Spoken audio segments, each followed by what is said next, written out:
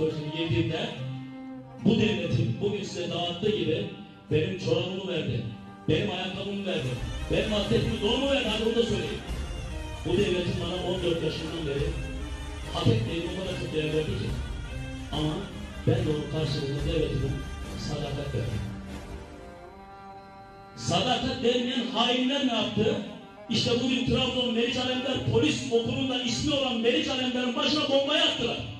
Allah belalarını versin. Senin annenden babandan, benim annemden babamdan, bizim 40 kanat vergilerimizden aldı, o hainleri Amerika'ya gönderdi. Pilotluk öğretti. Tank sürmeyi öğretti. Ama o tankı benim kendi vatandaşımın üzerine sür diye öğretmedi.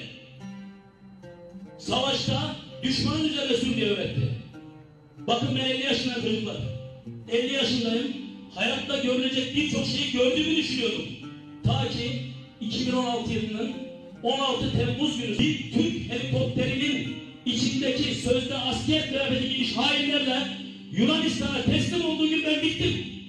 Dedim ki demek ki görecek çok şeyimiz varmış. Her şeyi görürdüm, inanırdım.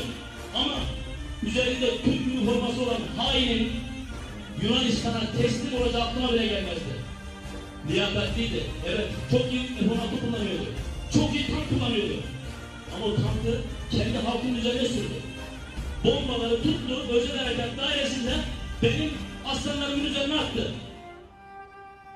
Melik Alemdar orada şehit oldu. Zafer Boyunca orada şehit oldu. Zeynep Sağır orada şehit oldu. Önder Güzelki benim kardeşim orada şehit oldu. Allah hepsinin mekanı cennet eylesin. Amin. Onlar yüce oldular. Onlar aziz oldular. Bu hainler de zelil oldular.